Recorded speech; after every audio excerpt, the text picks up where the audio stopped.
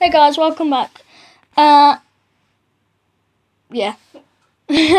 so, I'm thinking of deleting my YouTube channel because I've only got 10 subscribers in nearly a month and a half. Uh, I'm running out of YouTube videos and ideas and stuff. Um, and I don't really want to get mean comments because I know some people don't like me very much.